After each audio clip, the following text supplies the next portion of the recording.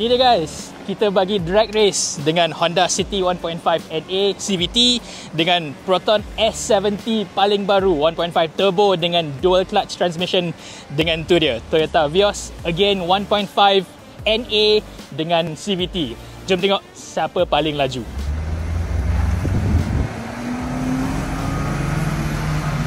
Okay guys, memang boleh nampak sangat-sangat clear Proton S70 jauh lagi laju daripada City dan especially the Toyota Vios.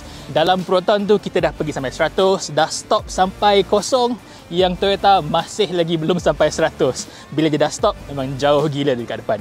Okay, sebenarnya comparison ni memang tak fair lah sebab kita compare 1.5 NA dengan 1.5 Turbo. Tapi kalau harga sama, mana satu korang nak beli? Nak beli 1.5 NA Honda daripada Toyota ataupun Proton punya 1.5 Turbo? Bagi komen dekat bawah.